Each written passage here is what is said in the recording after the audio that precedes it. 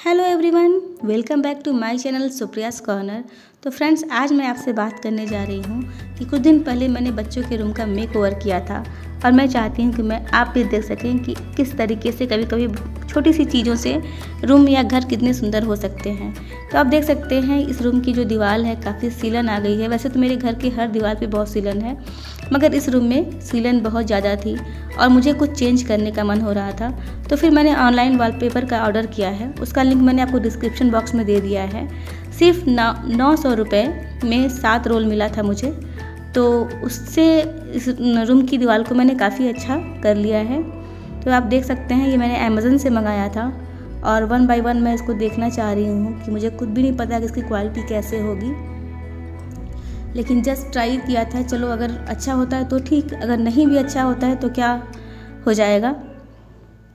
तो इस तरीके से वन बाई वन मैंने इसको निकाल लिया है टोटल सेवन रोल मंगाए थे मैंने क्योंकि मेरे रूम की जो दीवार है वो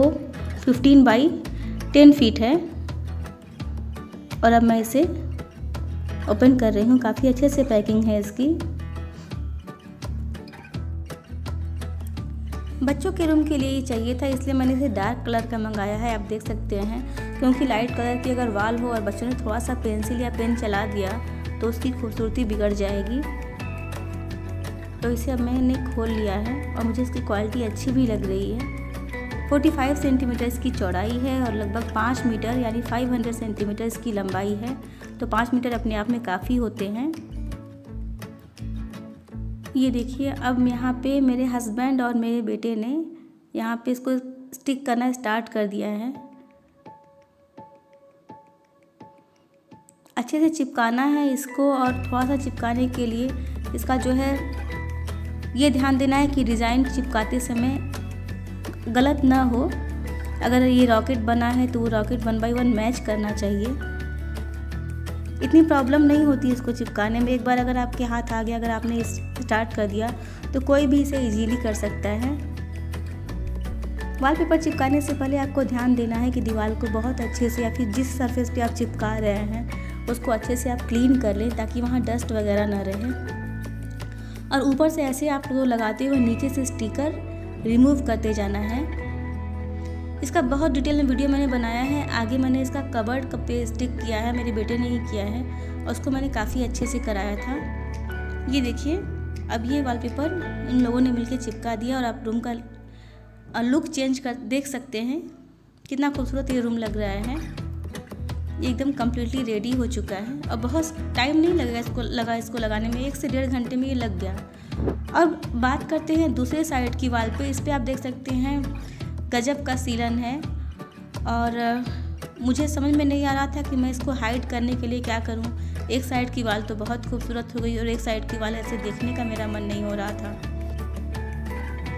तो फिर मेरे दिमाग में एक आइडिया आया कि जो सात रोल मैंने मंगाए थे उसमें से दो रोल तो बिल्कुल भी यूज नहीं हुए थे और बाकी जो पांच रोल यहाँ पे इधर यूज हुए थे दूसरे साइड वाली वाल पे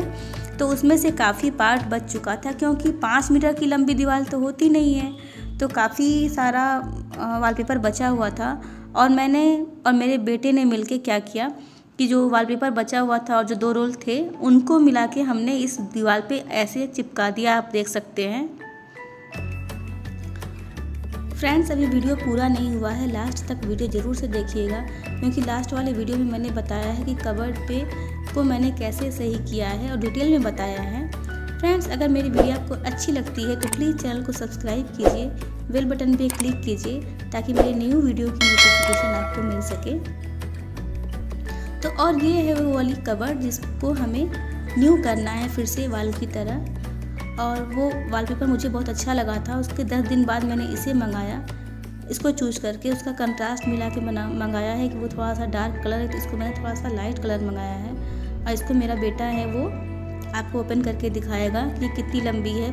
वही सेम वही चीज़ है फाइव मीटर लंबी ये वाली भी वॉलपेपर है और ये मेरी भांजी है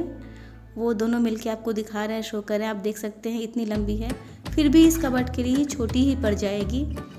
आप ध्यान से देखना आगे के वीडियो को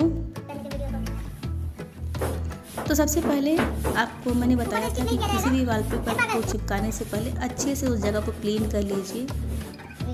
तो ये फिर सफाई का कार्यक्रम चल रहा है और ये लगभग क्लीन हो चुका है ये इसकी साइज का है और इसको कट करने की जरूरत नहीं है हम्म, ठीक है इसको स्टिक करो और ये हमारी क्यूट सी भांजी परी जो हेल्प करेंगी अपने भैया की और अभी बच्चे इस कबर्ड को साइज ले रहे हैं कि वॉलपेपर कितना बड़ा हमें कट करना है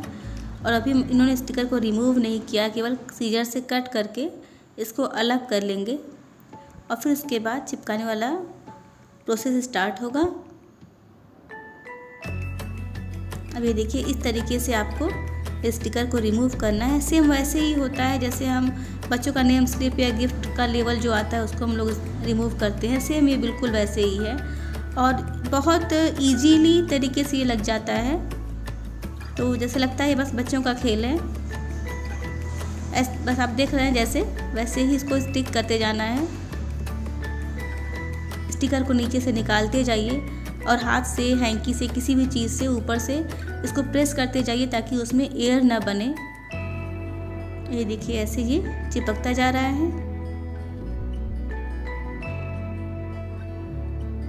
ये देखिए पूरा चिपक चुका है अब नेक्स्ट हम आते हैं फ्रंट वाले डोर पे फ्रंट के डोर पे भी ऐसे ही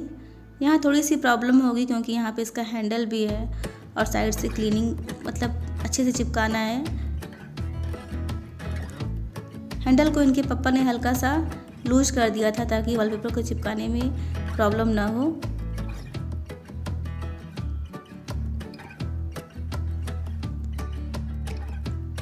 ये वॉलपेपर बिल्कुल वाटर प्रूफ है अगर इस पर हल्का सा निशान लग भी जाता है तो हम इसे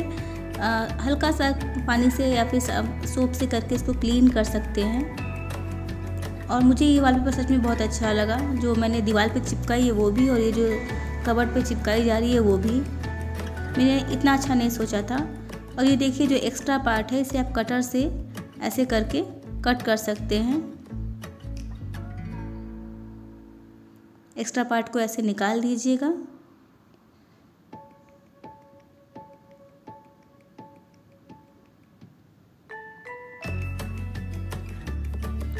और अब इस कबर्ड के साइड वाला पार्ट जो कि था उसको भी हमने वॉलपेपर को थोड़ा सा कट करके चिपका लिया है अब ये कम्प्लीटली रेडी है आप देख सकते हैं लग रहा है कि ये वही वाला कबर्ड है है ना बिल्कुल चेंज और बच्चों का रूम आप देख सकते हैं बिल्कुल चेंज बहुत ही खूबसूरत लग रहा है कान्हा जी का फ़ोटो मैंने यहाँ पे पोस्टर लगाया है क्योंकि ये जो दीवार थी थोड़ी भरी भरी सी लग रही थी इसमें प्रिंटेड ये ज़्यादा है मगर मजबूरी थी और वैसे भी ये पोस्टर मुझे बहुत पसंद है और ये है बच्चों की फ़ोटो मेरे बच्चे मेरे बच्चे जो हैं फैमिली में चारों बच्चे उनकी फ़ोटो है और रूम ऐसे ही पहले भी अरेंज रहता था लेकिन ये इतना खूबसूरत लगता नहीं था जब से वॉलपेपर लगा ये बहुत ही प्यारा लग रहा है और ये देखिए और ये वाल क्लॉक जो मैंने बनाया था इसका वीडियो मैंने आपको पहले भी शेयर किया है तो फ्रेंड्स वीडियो अच्छी लगे तो प्लीज़ लाइक कीजिएगा चैनल को सब्सक्राइब कीजिएगा और ये है देखिए पहले का रूम मैं वीडियो नहीं बना पाई थी कि आपको शो करूं और ये लास्ट का है बाद का डिफरेंस दिखाने के लिए मैंने ऐसा किया और ये है मेरी फैमिली के प्यारे प्यारे बच्चे हाय हाय